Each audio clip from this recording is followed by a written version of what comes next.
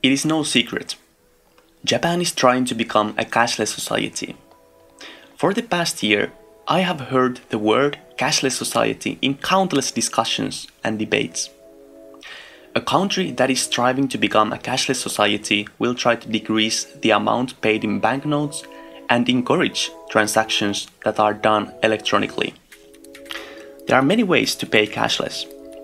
There are debit cards that pay straight from the bank account, credit cards that allows you to borrow money and hold a balance, prepaid cards that you can charge with money and then pay, and lastly, mobile paying, which is also the transaction method that has become more and more popular in Japan during the last year. For many years, Japan has been a society where cash is the king. According to a study that was conducted by the Ministry of Economy in 2016, only 20% of the transactions in Japan were cashless. This is distinguishedly low compared to other developed countries. It's not that Japanese don't have credit cards available. In fact, JCB published a study that in 2017, 84% of citizens held a credit card, and one person held on average 3.2 cards. There are many speculations as why Japanese prefer to use cash.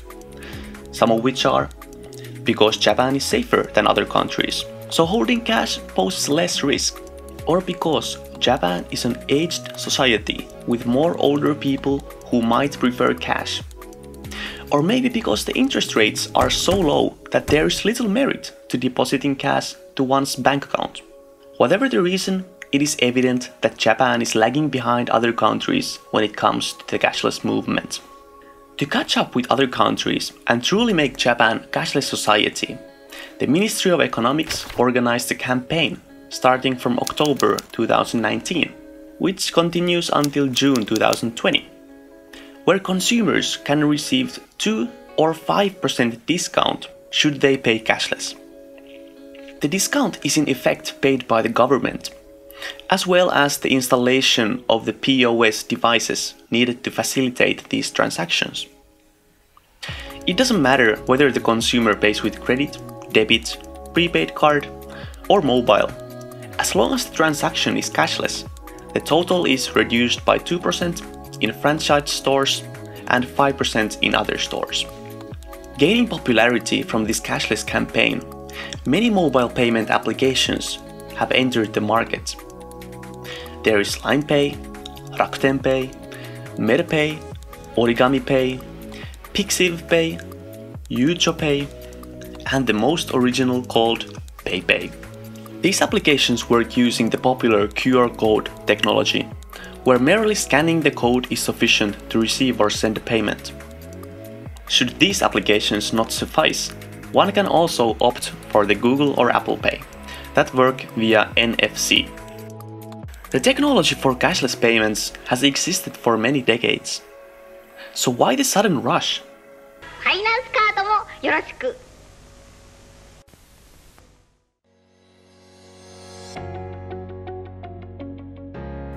The Ministry of Economy claims that the reason for going cashless is the increased convenience for consumers, as it makes paying easier, while automating the record keeping for purchases to help control spending budgets. In addition to this, they claim that going cashless will increase productivity as the effort that went into handling cash can be eliminated. Cashless payment options can also allegedly allow companies to increase demand from foreigners, as foreigners are more accustomed to cashless transactions. And lastly, the Ministry of Economy claims that the data that is generated from consumer purchases can be leveraged to use in precise marketing instruments. These can all be valid reasons for going cashless, but there are some potential downsides that I feel are not being mentioned, which we should be aware of.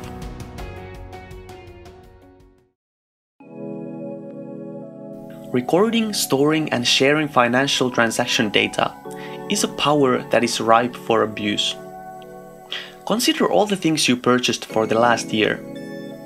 Now imagine that someone could know when and where you made those purchases, and you can understand how accurately they could profile you, and the various malicious ways this information could be used. We can already see how this kind of system has played out in China, where if you are blacklisted in the social credit application, you can lose the ability to buy train or plane tickets. We might like to think that our governments are more ethical and would never trample on individual liberties like this. But can we make the same assertion for years into the future? Once a system like the social credit in China has been established, the switch to a digital dictatorship is always only a push of a button away. Even if the situation never degrades to this point, it is much more likely that our financial data will be feasted on by corporations that can utilize this information to target us with advertisements. You gotta tell me exactly how to stop these targeted ads. It's, it's driving me crazy. Yes, it is possible to use this data ethically. But in the end, which do you think the corporations value more? Our well being or their bottom lines? Another potential negative downside to cashless society is the added economical burden. Let me explain what I mean by this. When we buy something in the store and pay with cash, there generally isn't additional fees. If an apple costs $2, you pay $2, of course with the added value added tax. However, when paying with a credit card, it is not uncommon that a middleman usually called MasterCard or Visa, takes a cut. Sometimes the merchant holds this burden onto themselves, but sometimes they can pass it onto the consumer. It is quite naive to think that if we transitioned to a fully cashless society, the middlemen facilitating these transactions, whether card companies or mobile app providers, would offer their services for free. But at this point, when paying with cash is no longer an option, we would have very little discourse and could end up paying a small fee every time we make a purchase. Another potential economic burden that gets little attention is the implementation of negative deposit rates. Simply put, the traditional economic wisdom has been that when we face a recession, the central bank cuts the rates roughly 5% to ease lending and stimulate economic activity. Before the great financial crisis of 2008 and 9, just the idea that interest rates could be negative was absurd. Who would lend money if the amount they got back in the future would be smaller than what they lent?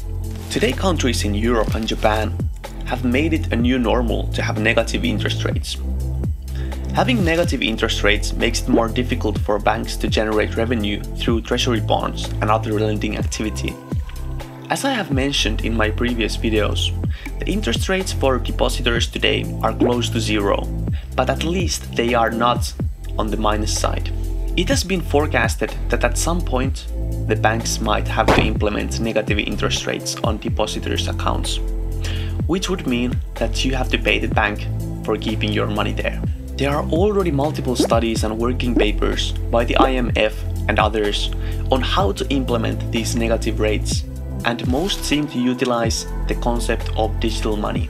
If you can't withdraw your money in cash, what can you do when the bank flips the interest rates to minus? These were some potential ways that the cashless system could be abused.